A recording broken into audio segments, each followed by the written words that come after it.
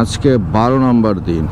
এই শালা, ক্যামেরার কভার লাগানো ছিল, এতক্ষণ যা বক বক করছে কিছুই আসে না আয় হায় তো আজকে হচ্ছে বারো নম্বর দিন লকডাউনের, আর কত লকডাউন পালন করব।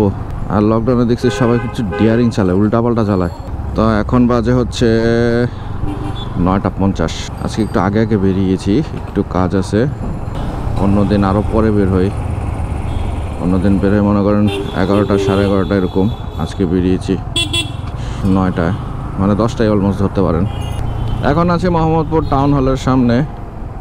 আসলে গতকাল গাজীপুর গিয়েছিলাম, কিন্তু যে পরিমাণ কষ্ট লেগেছে লকডাউনের জন্য, এখানে একটা পুলিশের রেকর্ড সকালবেলা থাকে, দিনের বাকি সময়টা থাকে না। এখানে তো গাড়ি কেন?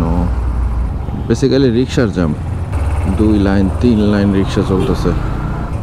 এখন তো ঢাকা শহরটা রিক্সাদেরই ওনারা তো ইচ্ছা মতো চালাইতে পারে। ভিআইপি নন ভিআইপি সব রোড এখন উন্মুক্ত। এটা বস্তার মধ্যে কী গাড়ি? তো দেখতে দেখতে চলে আসলাম আসাদ গেট আসাদ গেটের এত গাড়ি কেন? এত গাড়ি কেন? উরি সর্বনাশ। আমি বা দিক থেকে ডান দিকে কাল্টি মারি না। বাই গেট ডানে কাল্টি বাই গেট ডানে কাল্টি U turn it's a U turn যা।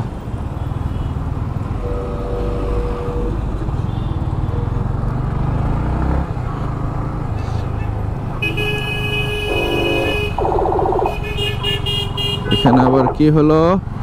আসলে সকালে বের হই না, আজকে সকালে বের দেখলাম ভালো যানবাহন আছে। দেখে তো মনেই হচ্ছে না লকডাউন মনে হচ্ছে ওয়ার্কিং ডে এর মতো। ওয়ার্কিং ডেতে রিক্সা থাকে না জাম কম থাকে, আজকে রিক্সা বেশি।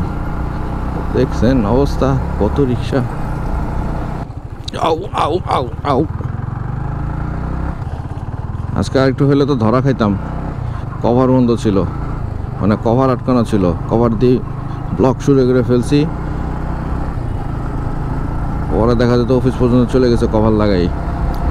তো মানিক মেহবিনও পার হয়ে যাচ্ছি। এখন আছি রাজধানী উচ্চ বিদ্যালয়ের সামনে। রিক্সার রাজত্ব। ও রে সর্বনাশ, দেখেন কি অবস্থা, কত রিক্সা। আট দশ লাইনের রিক্সা চলে মানে পুরো রাস্তা জুড়ে এই রিক্সা। এখানে মেট্রো রেলের কাজ চলছে, থামান থামি নাই। ফেজার আর আর ওয়ান ফাইভ মিলাইন না, ঝিলাইন না বাইক ভালোই লাগতেছে দেখতে। ওরে, এত গাড়ি কেন, এত গাড়ি কেন, এত গাড়ি কেন? কারণ এখানে চেক পোস্ট এই জন্য এত গাড়ি। ওরে অস্থির স্কুটার ব্যাটারিতে চলে এটা। চেকিং চলছে checking let's have some checking সব আটকাই দিছে।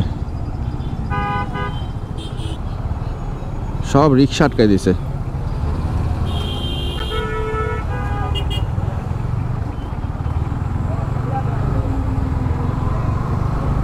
সব রিক্সা আটকে দিছে। আসলে আজকে হঠাৎ করে দেখলাম রিক্সাটা অনেক বেশি।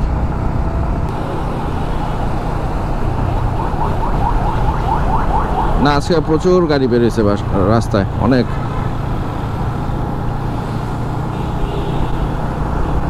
আর জাম যা বুঝতেছি চেকপোস্টগুলোতেই জ্যাম। সারা ঢাকা শহরে তেমন কোনো জ্যাম নেই। একদম ফাঁকা ঢাকা।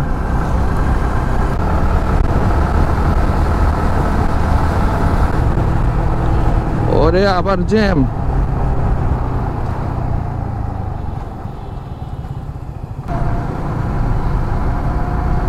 তো চলে আসলাম অফিসে। এখন বিদায় নিচ্ছি। ভালো থাকুন, সুস্থ থাকুন। আল্লাহ হাফেজ। অফিস থেকে বের হলাম। পিছনে একটা আনব্যালেন্স বস্তা আছে আনব্যালেন্স বস্তা। You know what is unbalance বস্তা মিনস ওই দা উল্টা আসে।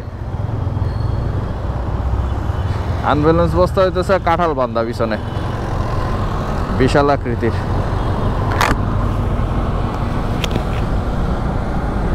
And দিস কাঁঠাল ইজ comes from গাজীপুর।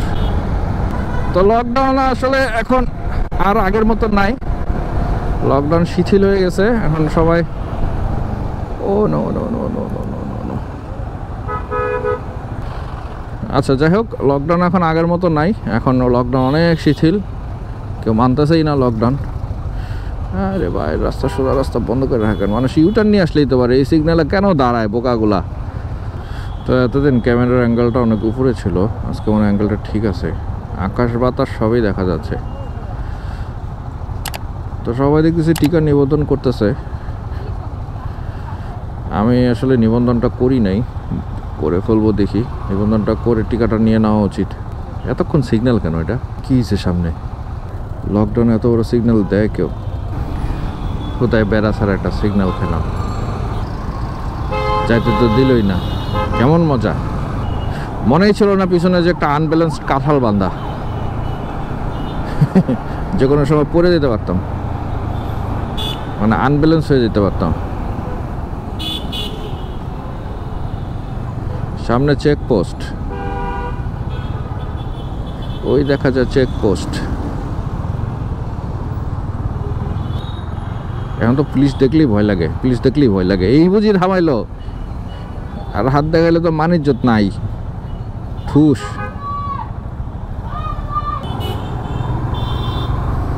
এ রে, চোখের মধ্যে রোদটা। সূর্যটা পুরো চোখের মধ্যে, আর আপনারা তো সব অন্ধকার দেখতেছেন। কনফার্ম, সূর্য ছাড়া সব অন্ধকার। গোপ্রো সেটিংসটা এখনও বুঝে উঠতে পারি নাই। কোন সেটিংসে দিলে সবচেয়ে বেটার পারফরমেন্স পাবো? প্রতিদিনই সেটিংস একটু একটু করে চেঞ্জ করি। ভিডিওতে যদিও বোঝা যায় না, কারণ ইউটিউবে যখন আপলোড দেই, তখন ইউটিউব নিজের মতো করে একটা সেটিংস তৈরি করে নেয়। প্লাস র ফুটেজের একটা তো ব্যাপার আছেই। কারণ আফটার মানে পোস্ট প্রোডাকশনে আমি কিছুই করি না। একদম র যেটা আছে সেটাই আমি এক্সপোর্ট দিয়ে দিই। কিন্তু ইউটিউব আবার তাকে আবার একটু রিজেনার রিমোডিফাই করে থাকে। যার ফলে ভিডিও কোয়ালিটি দেখতে ভালো আসে না, অনেক সময় খারাপ আসে। আজকে ভালোই মানে আজকে কি বলব, আজকে লকডাউন মনে হচ্ছে না, আজকে মনে হচ্ছে নর্মাল ডে এত গাড়ি। আসলে বারো দিন হয়ে গেছে, সাত দিন হলে হয়তো চলতো, সাত দিনের পর যখন পাঁচ নম্বর দিনে বলা হয়েছিল যে এক্সটেন্ড করা হয়েছে লকডাউন তখন মানুষের মুভমেন্ট আরও বেড়ে গেছে। চিন্তা করতেছে, আর এতদিন আরও সাত দিন বসে থাকব, এর থেকে পাঁচ দিনে সব বের হয়ে কাজ সেরে আসছে। এ হচ্ছে অবস্থা। তবে মাস্ক পরে বের হওয়াটা সবচেয়ে ভালো। এখানে মাস্ক নিয়ে মাস্ক নিয়ে কি জানি বলতেছিল, আসলে বুঝতেছিলাম না, হেলমেটের ভিতরে আসলে বোঝা যায় না। আগের হেলমেটটায় কথা সব শুনতে পারতাম, কিন্তু এই হেলমেটটা যথেষ্ট কোয়াইট যার ফলে বাইরের সব নয়েজ ঢুকে না। কথাও তো বুঝি না অনেক সময়। কথা বুঝতে সমস্যা হয়। এ পরিস না রে কালারটা সুন্দর গাড়ির পিঙ্ক ওই যে আবার সিগন্যাল মানে নর্মাল ডে এর মতো হয়ে গেছে এখন আসলে। এখন বাজে ছয়টা। হ্যাঁ পাঁচটা ছাপ্পান্ন। অর্থাৎ ছয়টাই ধরতে পারেন, এখন ছয়টা বাজে। অফিস টফিস তো সবই ছুটি হয়ে গেছে। এই পাশে দাঁড়াই। আমি ব্যালেন্স হারা হয়ে আছি। আসলে ব্যাগটা সামনে নেওয়া উচিত ছিল। একটা সামনে না নিয়ে নিয়েছি পিছনে। যার ফলে হয়ে গেছে ব্যালেন্স ব্যালেন্সলেস মানে ব্যাগ একটু পর পর সরে যেতেছে ডান দিকে। যার ফলে আমার বাইকও কাত হয়ে যাচ্ছে ডান দিকে। আর আমি বাইক চালাই খুব ব্যালেন্সে যার ফলে একটু আনব্যালেন্স হলে মনে করেন ডানে বাই হয়ে যেতেছি ব্যাগ না উঠছে কাঁঠালের উপরে, না উঠছে নিচে। তবে এখন এই লকডাউনে একটা জিনিস ভালো লাগে যে রাস্তাঘাট অনেক পরিষ্কার অনেক পরিষ্কার পরিষ্কার লাগতেছে। আর আমরা কোনো কিছু তুলনা দিলেই তো বিদেশের সাথে তুলনা দিই। বিদেশ বিদেশ লাগতেছে, মনে হয় বিদেশের রাস্তাঘাটে চলতেছে। যদিও গাড়ি চোর, গাড়ি ঘোড়া দেখলে ভাঙাচোরা লাগে। ভাঙাচোরা দেখলে মনে হয় না বিদেশ, তারপরও বলতে পারি, রাস্তাঘাট তো অনেক কোয়ালিটিফুল অনেক সুন্দর।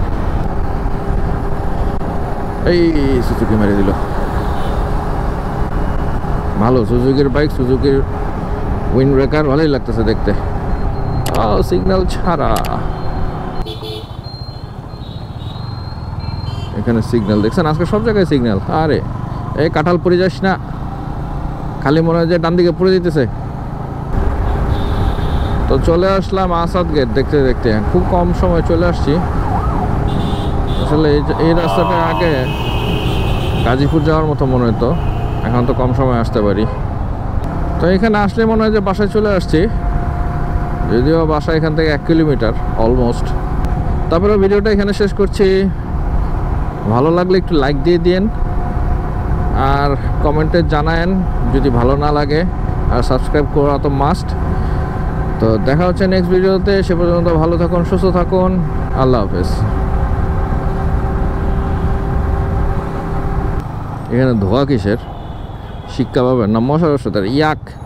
আমি তো ভাবছিলাম, শিক্ষা পাবে ধোয়া, মুখে খিদা লাগছিল, আসলে দুপুরে লাঞ্চ করি নাই। আমি ভেবেছিলাম, শিক্ষা পাবে ধোয়া। তো এখন তো দেখতেছি মশার ওষুধের ধোয়া। আসলে খিদা লাগছে তো, খালি খাবারই ঘুরতেছে মাথায়।